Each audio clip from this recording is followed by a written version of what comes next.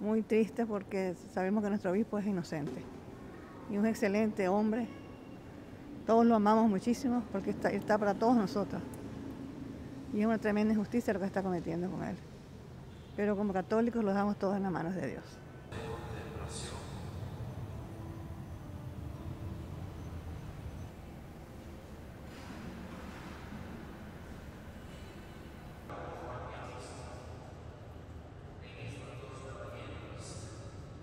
He makes allusions not to incite uh, violence or to call for resistance, but he does says, you know, there is oppression going, and his his discourse is not uh, concealed in that regard.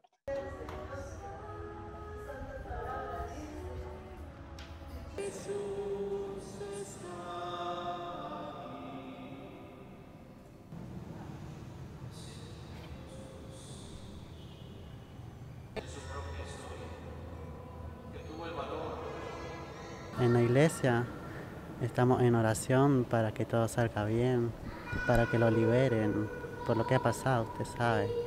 Y es muy doloroso ver eso, ya que el obispo ha sido muy bueno con todo. Y primero Dios que lo liberen.